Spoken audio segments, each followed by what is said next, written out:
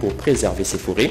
Le Premier ministre de la RDC, Jean-Michel Samalou Koundé, présent à ces travaux, a plaidé pour la sécurité afin de préserver les espèces protégées. On en revient dans un instant. Également, au sommaire de votre 13 heures, rouler sur la route de Kinshasa, plus précisément sur l'avenue Tourisme, un véritable calvaire pour les usagers de la route. Les habitants obligés de quitter la maison vers 5 heures ou 4 heures pour échapper aux embouteillages monstres. À cela s'ajoute l'état de la route est totalement délabré. Face à ces chemins de la croix, la population lance un cri d'alarme aux autorités. Vous les entendrez dans ce journal. Et enfin, la France aurait-elle tourné les doigts à la RDC Pourquoi elle ne veut plus regarder ce qui touche aux droits humains en RDC Nous allons recevoir sur ces plateaux notre confrère Médard Mbouyal Mangal qui va nous parler de la parenthèse de la diplomatie française en Afrique centrale. Bonjour Médard. Bonjour Eric. Je vous reviens dans moins de 10 minutes. Mesdames et messieurs, encore une fois, bienvenue à vous si vous nous rejoignez la radio-télévision nationale congolaise. Le président de l'Assemblée nationale déplore le silence complice de la communauté internationale face à l'agression rwandaise en RDC. Christophe Mbosso l'a dit à l'ambassadrice des États-Unis à Crédit en RDC. Cet émissaire américain a aussi promis le soutien de son pays pour le retour de la paix dans la partie est de la RDC. C'est un reportage de Sylvie Mouembo, Bernard Baudot et Guy Kitoko. La diplomatie de choc amorcée depuis son accession à la magistrature porte ses fruits et les États-Unis d'Amérique s'engagent dans le cadre de la coopération bilatérale à accompagner la République démocratique du Congo pour que définitivement la paix revienne à l'Est. C'est l'ambassadrice des États-Unis en poste à Kinshasa qui l'a dit au speaker de la Chambre basse du Parlement, Christophe Mbosoko Diapwanga. Lucie Tamlin a insisté sur le caractère inclusif de l'intégrité territoriale de la RDC. Occasion pour le président de l'Assemblée nationale de déplorer les silences coupables de la communauté internationale face à la guerre injuste imposée par le Rwanda à la République démocratique du Congo. Je lui ai rassuré que les États-Unis soutiennent une, une RDC forte, stable et unifiée et qu'on ne peut pas réussir la paix Um, si l'intégrité territoriale n'est pas respectée. On a parlé de comment renforcer la coopération américaine dans tous les domaines et je lui ai assuré que moi je suis ici pour renforcer cette uh, uh, coopération davantage. Vous savez que les États-Unis sont le premier pays pour dénoncer l'agression on va continuer d'attirer l'attention de la communauté internationale sur l'importance de respecter l'intégrité territoriale de ce pays. Les États-Unis d'Amérique, qui est un allié historique de la République démocratique du Congo, peut peser de tout son poids pour mettre fin à l'agression rwandaise à l'est de la République démocratique du Congo. Je le dis au sommaire, clap de fin à Libreville. Les sommets One Forest Summit s'est achevé hier au Gabon. Ces sommets, consacrés à la protection des forêts tropicales, est marqué par l'annonce de la création d'un fonds d'une valeur de 100 millions d'euros pour préserver ces forêts. Le Premier ministre de la RDC, Jean-Michel Samalou Koundé, présent à ces travaux, a plaidé pour la sécurité afin de préserver les espaces protégés. C'est un reportage des Bienvenus Loussala, Pati Tondouango et Julien Piana. Comment protéger les forêts tropicales, poumons indispensables à la planète menacée par les changements climatiques, One Forest Summit, qui a ouvert ses portes ce jeudi 2 mars 2023 à, Libre, à Libreville, compte trouver des solutions concrètes pour conjuguer une gestion durable des forêts tropicales et développer l'économie des pays forestiers. Ces sommets des deux jours, organisés à l'initiative du Gabon et de la France, compte promouvoir la coopération scientifique entre les trois grands bassins forestiers du monde, à savoir l'Amazonie, les forêts tropicales d'Asie du Sud et les bassins du Congo. La République démocratique du Congo, qui occupe une place importante pour sa contribution à l'équilibre climatique mondial, de par son écosystème, est représentée à ses assises par le Premier ministre et chef du gouvernement Jean-Michel Samaloukonde Kienge, représentant personnel du chef de l'État. C'est le message qui, qui m'a été donné par euh, euh, le président de la République, son Excellence Félix Antoine Sekedi Chilombo, c'est de dire qu'il faut, sur ces questions, de l'humilité et de la solidarité. L'humilité de, de, voir ce qui est fait ailleurs, mieux que chez soi, pour euh, euh, voir comment l'appliquer, et la solidarité, parce que ce sont des questions qui nous concernent tous, et ça demande qu'on se mette ensemble pour y répondre et donc il faut qu'on parle d'une seule voix. Je veux aussi insister sur le fait que dans le cas de la biodiversité, nous avons, de la même manière que ça a été imagé ici, ces bonobos qui avaient fui pour leur dette, mais en réalité, ces espèces protégées fouillent l'insécurité. La sécurité reste un facteur important dans la protection de notre biodiversité. Nous, en République démocratique du Congo, surtout en ce qui concerne les parcs de Virunga, et ici, moi, je vais encourager tous les efforts qui sont mis euh, dans les processus dans lesquels nous sommes engagés par rapport à la sécurité mhm. à l'est de la République démocratique du Congo, dans ce problème que nous avons euh, avec euh, le Rwanda. Mais dans tous les cas, ces efforts qui doivent être mis pour qu'il y ait de la paix dans tous les espaces. Parce que ces espaces protégés, dès qu'il y a de l'insécurité, il y a du braconnage et il y a de la perte. À son arrivée à Libreville, l'émissaire du chef de l'État Félix-Antoine Tshisekedi Chilombo a été accueilli par son homologue gabonais Alain-Claude Billy Bainze. Après un entretien de bienvenue au salon d'honneur de l'aéroport Léomba, le chef du gouvernement qui quittait l'aéroport pour prendre part au sommet s'est vu dans l'obligation de s'arrêter pour saluer la grande communauté congolaise du Gabon mobilisée pour l'accueillir. Le Premier ministre a déjà regagné Kinshasa. Bien avant de quitter Libreville, Jean-Michel Samaloukoundé a accordé une interview dans laquelle il a résumé tous les contours et enjeux de, sa de la participation à ces sommets. On l'écoute.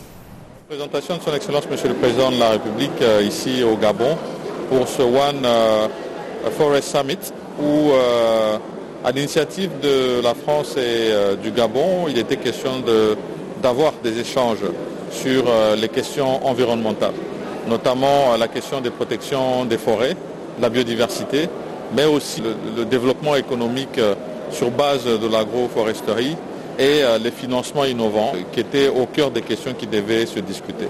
Ça s'est fait sous forme de panel où euh, nous devions avoir des échanges euh, avec non seulement les responsables des ONG qui sont en charge de la protection de la biodiversité, mais aussi les privés qui travaillent dans le secteur environnemental et les financiers qui sont aussi supportés pour apporter des solutions à ces questions des populations autochtones qui euh, cherchent des compensations du point de vue de leur implication sur euh, la protection des forêts.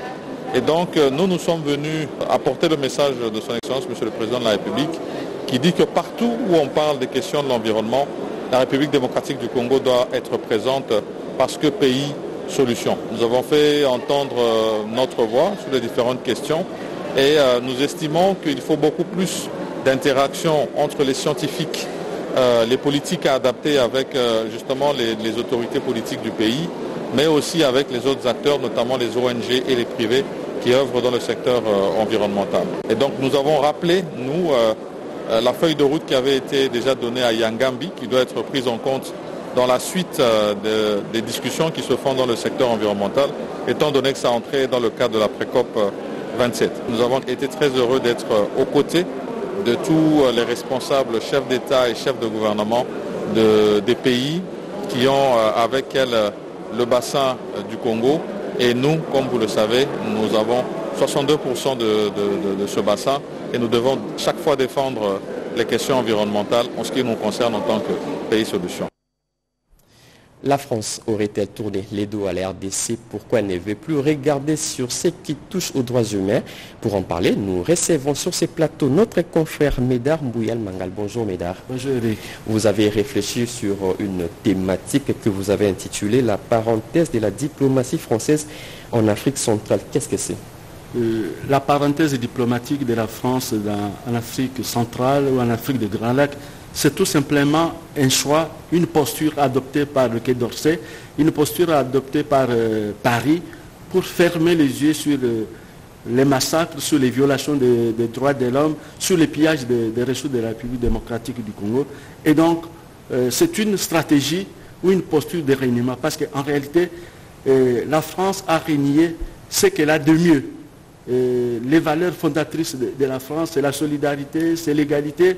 Et donc, tous ces éléments sont, passés au pays, donc sont oubliés justement parce qu'on est dans une posture de vouloir faire, de changer de face, parce que la France est à la recherche de nouveaux visages Et ce nouveau visage, il le recherche en, contraction avec le Rwanda. Et donc, au nom de ces principes, la France a oublié ses propres valeurs, la France vient de régner ses, propres valeurs. Et donc, dans les relations avec euh, la République démocratique, la France ignore les massacres, les morts, le sang qui est en train de couler tous les jours, et surtout les pillages des ressources naturelles de la RDC. Et justement, Médard, euh, en quel terme se pose le problème? Le problème se situe déjà, nous sommes euh, dans les années 1994, lorsque un avion Falcon 50, un avion de fabrication française, piloté par, par des Français, et l'avion qui transportait à bord le président rwandais Abiyarimana et son collègue burundais avec eux euh, des chefs d'état-major des deux armées du Burundi et du Rwanda qui, qui revenaient d'Arusha. Lorsque l'avion amorce la descente sur l'aéroport de Kigali, un attentat intervient. C'est l'attentat qui est en réalité l'acte qui a propulsé ce qu'on appelait le génocide. Donc le génocide a pris de la forme ou a pris de l'ampleur avec l'attentat dans lequel ont péri le président burundais, le président rwandais, le chef d'état-major général de l'armée rwandaise et de l'armée burundaise. Donc ce sont ces éléments qui ont déclenché le, génocide. Mais là on a constaté que rapidement, la boîte noire de l'avion a été récupérée quelque part, on n'a jamais dit où exactement elle est, au niveau du Conseil de sécurité des Nations Unies.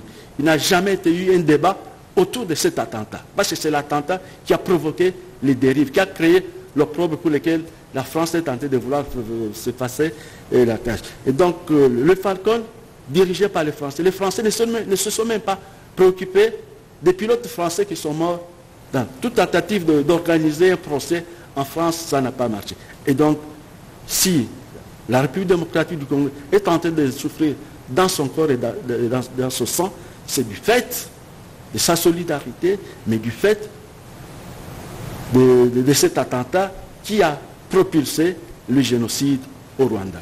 Et une dernière question avant de vous libérer. Quelles sont les perspectives pour résoudre tous ces problèmes? Les perspectives sur les problèmes, c'est d'abord la capacité de dénoncer les acteurs, dire à haute voix, à une voix audible, intelligible, que c'est le Rwanda qui, qui, agresse la République démocratique du Congo. Puisque le Rwanda agresse la République démocratique du Congo, le Rwanda doit payer le prix de toutes les souffrances imposées à la République démocratique du Congo. Aujourd'hui, on assiste à des phénomènes justement du genre, on prend le, secrétariat général de la francophonie, pied et lié, on jette entre les mains d'un pays anglophone. Or, l'avenir de, la francophonie, c'est en République démocratique du Congo, parce que nous sommes face à la loi du plus grand nombre. Donc, la, euh, francophonie, c'est ici. Mais bien sûr, avec ces forcings, mais on nous pousse à aller vers le briefing, parce que aujourd'hui, le mot briefing prend de l'ampleur, parce que nous nous essayons, nous aussi, à nous préparer si elle, n'est pas allée rejoindre les flamands, bon, on va rejoindre notre espace linguistique en attendant. Mais à la sortie de, de la prison, euh, Nelson Mandela a déclaré l'histoire est faite par des masses. Aujourd'hui, l'histoire immédiate de la République démocratique du Congo est en train d'être faite, est en train d'être portée par des masses congolaises qui sont tentées de dire non à la, à la balkanisation, non à la guerre. Et il va falloir qu'un pays membre du Conseil de sécurité puisse porter la voix de la République démocratique du Congo au plus haut niveau. Merci beaucoup, Mesdames Mouyal, pour toutes ces précisions. Nous vous retrouvons très prochainement. Merci. Poursuivons ce journal. Rouler sur la route de Kinshasa, plus précisément sur l'avenue Tourisme, un véritable calvaire pour les usagers. Les habitants obligés de quitter la maison vers 5 h ou 4 h pour échapper aux embouteillages monstres. À cela s'ajoute le tas de la route est totalement délabré. Face à ces chemins de la croix, la population lance un cri d'alarme aux autorités compétentes. Séverine Pascal Katanda était descendue sur les lieux pour faire les constats. Suivez. 5 heures juste à Kinshasa, c'est l'heure qu'il faut prendre la route pour ceux qui habitent le quartier Mboudi, CPA, Kinsuka Pêcheur, Pompage et Mimosa dans la commune d'Engalema pour emprunter l'avenue du tourisme vers le centre de Kitambo. Ne pas vouloir se plier à cette exigence, c'est accepter de subir le désagrément dû aux immenses embouteillages. Pour une distance de moins de 10 km avec 15 minutes de route, élèves, étudiants, travailleurs et autres usagers y font deux heures ou plus pour atteindre Kitambo Magasin. Je dois me réveiller à 4 heures du matin pour m'habiller, pas rester dans les embouteillages pendant 3 heures, 2 heures. Traversons un calvaire avec ses enfants. Il y a un trafic intense à ce moment. De Brikine à magasin, c'est un calvaire. Tellement il y a des nids de poules, nous sortons à 5 heures du matin pour arriver à 8 heures. La cause de cette malheureuse situation est imputée à l'état hautement délabré de l'avenue du tourisme, connu de la population quinoise sous la dénomination de Nzela Yamaï, qui est la principale voie de sortie. Mais depuis qu'on a ces nids de poules dans la voie, on n'arrive plus à s'en sortir. On reconstruit cette route comme ça, on n'aurait plus d'embouteillage. Là où c'est dégradé, il y a plein de trous sur la route et voilà.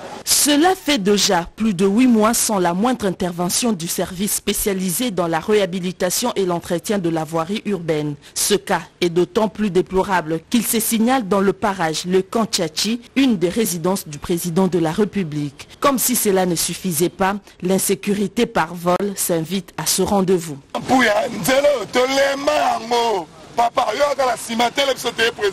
Que la police fasse son travail, sécuriser les citoyens. Il est plus que temps que l'avenue du tourisme soit réhabilitée à cause non seulement de sa fréquentation excessive, mais aussi de sa proximité avec le fleuve Congo et la résidence du chef de l'État. Manque de matériel, de technologies des pointes, lenteur dans la transmission des dossiers administratifs et le manque de formation de remise à niveau des agents et cadres, autant à de piles de doléances soumises aux autorités, au comité dirigeant de la radio-télévision nationale congolaise que dirige Sylvie Ilengue, directrice générale par le directeur Santo. C'était au cours d'un face-à-face entre les deux parties. Et Johnny Dada Chabani pour plus de détails. Décidé à relever les défis de la transformation structurelle de la radio-télévision nationale congolaise avec l'apport des nouvelles technologies de l'information et de la communication pour mieux accomplir sa mission régalienne, à savoir informer, former et divertir les auditeurs et les téléspectateurs, les comités de gestion de la RTNC piloté par Sylvie Elengue Niembo profilent des stratégies pour gagner ses paris. La réunion technique avec 15 directeurs provinciaux s'inscrit dans cette optique le directeur général Sylvie Lenguenyembo et le directeur général adjoint José Adolphe Voto ont mis à profit cette séance de travail pour palper les réalités du fonctionnement de toutes les directions provinciales.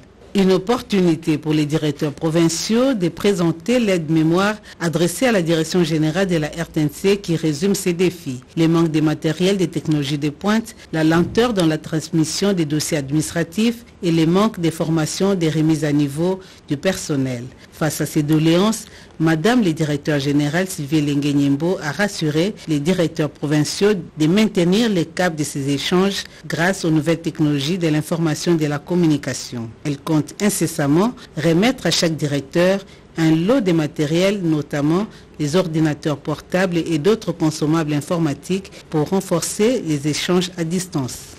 Pour sa part, le directeur général adjoint José Adolphe Voto a invité tous les directeurs provinciaux à l'amour du travail, question de satisfaire les auditeurs et les téléspectateurs de la chaîne nationale. À l'issue de la séance de travail, les directeurs se sont dit très satisfaits.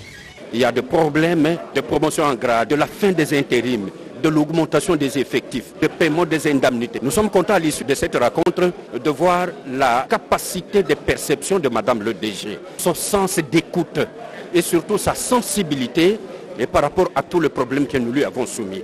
Sincèrement, nous partons de cette réunion très flattés. Retenir d'abord, c'est de remercier Madame le DG qui a daigné vraiment nous réunir pour la toute première fois. Les directeurs provinciaux, même s'ils ne sont pas venus pour toutes les 26 provinces, mais au moins nous sommes arrivés à plus ou moins une quinzaine. C'est déjà vraiment quelque chose de très positif et c'est là à l'occasion de cette formation sur la collecte de la redevance audiovisuelle, nous avons trouvé l'occasion d'abord de nous connaître physiquement et d'être en face avec le DG et son adjoint. C'est vraiment une bonne occasion et cela nous permet au moins d'harmoniser le point de vue pour le bon fonctionnement de ce que nous faisons en province. Les réseaux sociaux, un nouveau tremplin de femmes vers l'entrepreneuriat. Une nouvelle campagne de, de, dissémination digitale vient d'être lancée et ce, en marge de la célébration de la Journée internationale de la femme, campagne lancée par l'ONU Femmes, comme nous dit Dieudonné Ngumba Junior. Le 8 mars, journée internationale de la femme se pointe à l'horizon. L'ONU Femmes, en partenariat avec l'unité de coordination du projet d'appui au développement des micro, petites et moyennes entreprises, ont procédé au lancement officiel de la campagne de dissémination digitale dans le cadre du projet de réforme et dissémination de textes de loi en faveur des femmes, en présence des représentants de ministres sectoriels, notamment la secrétaire générale au genre Esther Kamwana et le DIRCAB au PME Justin Magala.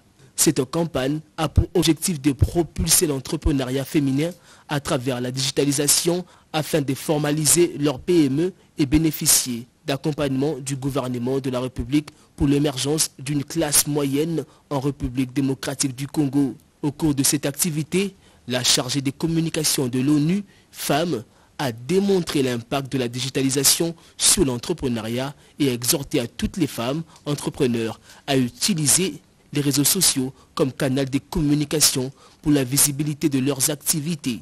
Rappelons que cette campagne a été financée par la Banque mondiale à travers le PADEM PME. La cérémonie a été sanctionnée par la remise symbolique de quelques smartphones pour permettre aux femmes entrepreneurs à maîtriser la digitalisation particulièrement axe sur l'entrepreneuriat féminin. Insécurité dans la partie est de la RDC. Le femmes de la province du Nord qui vous hausse la voix pour dénoncer et aussi euh, pointer du doigt la communauté internationale pour ses silences complices. C'était au cours d'une assemblée générale organisée dans la province du Nord qui vous plus de précision avec Jean-Pierre Ndolo-Demazou.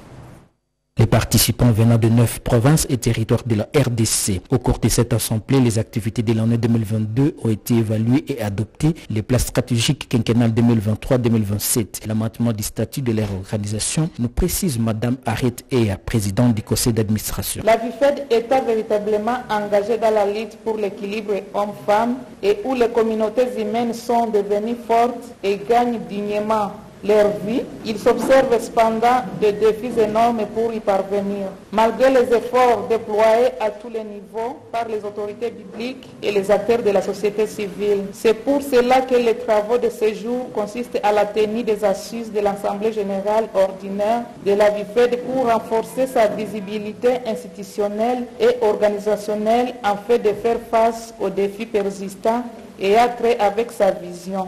Le professeur Nyamankioku Obedi, vice-président du conseil d'administration, remercie tous les participants venus des zones en conflit pour leur bravoure et courage. Nos membres, malgré l'insécurité dans les zones de travail, parce que nous, nous on travaille à Massissi, ils sont venus et donc ils ont bravé la peur. Et c'est ça ce que nous demandons et nous disons grand merci, ferme et que nous sommes sereins et nous tenons à travailler pour l'avancement de ces territoires-là Signalons que la communauté, à travers les participants, a remercié VIFED de l'encadrement, la formation, appui des activités de production agro-pastorale durable et de transformation.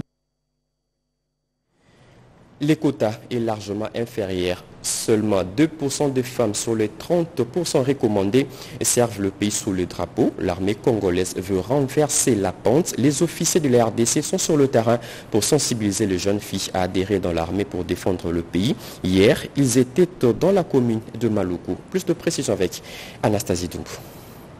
Sensibilisateurs, essentiellement les officiers supérieurs de FARDC, s'emploient à atteindre 30% des femmes dans l'armée telle que préconise par la Charte des Nations Unies.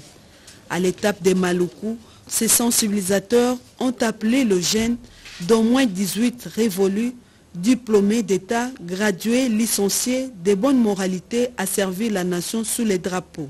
Mais néanmoins, il faut savoir que la jeunesse, c'est elle qui a la latitude ainsi que les aptitudes de répondre favorablement à l'appel du chef de l'État pour défendre l'intégrité de la nation. Les critères de recrutement ou de l'enrôlement au sein de l'armée, c'est basé sur le volontariat. Pour la colonelle Odette Chilomba, il faut renverser la tendance de l'effectif de 2,5% de femmes dans l'armée datée de 1966. Nous faisons l'appel aux filles. Nous avons visé Maluku. Pourquoi? Parce que c'est là où nous avons vu que beaucoup de parents parfois n'ont pas de moyens. Ils n'ont pas pu faire étudier leurs enfants à cause de manque de moyens. Or, s'ils venaient dans l'armée, ils peuvent étudier sans payer et recevoir l'argent pour faire payer leurs frères où eux-mêmes peuvent faire étudier leurs enfants. Cette campagne de recrutement va s'étendre aux chefs de quartier et d'autres détenteurs d'enjeux pour conscientiser plus de jeunes à rejoindre l'armée congolaise. Et pour finir, le plan directeur des transports urbains à Kinshasa en plein laboratoire, un groupe d'experts du ministère des Infrastructures et ceux de l'Agence des coopérations internationales du Japon JICA réfléchissent pour donner du contenu à ces documents évalués à 32 milliards de dollars et qui s'étend jusqu'à 2040. Emmanuela Commissaire pour le reportage. La problématique du transport urbain en République démocratique du Congo, plus précisément à Kinshasa, préoccupe au plus haut point la population. L'agence japonaise de coopération internationale dans sa mission d'accompagner la RDC dans les domaines des infrastructures et autres a réuni les experts de la JICA, le représentant du ministre des Infrastructures et Travaux publics, l'ambassadeur du Japon, le représentant en chef JICA, RDC et d'autres personnalités pour faire une étude des faisabilités pour la mise en œuvre du plan directeur des transports urbains dans la ville de Kinshasa. Tous les problèmes majeurs liés au transport urbain et à la croissance démographique auquel fait face la population quinoise ont été scrupuleusement décryptés dans le document final du PDTK et des solutions idoines ont été proposées pour y remédier. Le représentant de l'ambassadeur japonais a encouragé cette initiative.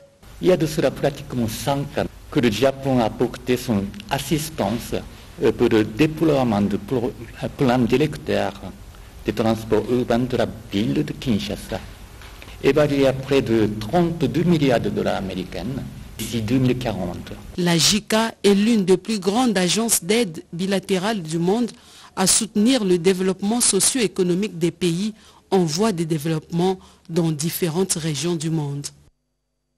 C'est fini pour ce journal de la mi-journée. Journal coordonné par Louisette Ntsakala, réalisé par Papi Ndinamao, Dieudonné Yangumba Junior, Gabi Congo et ainsi que Djibril Wagengoso. Mesdames et messieurs, merci de nous avoir suivis. L'actualité continue sur nos antennes. Retrouvez tout à l'heure à 16h Marie-France Zaïna pour les actualités africaines. Très bonne suite des programmes sur nos antennes. Au revoir.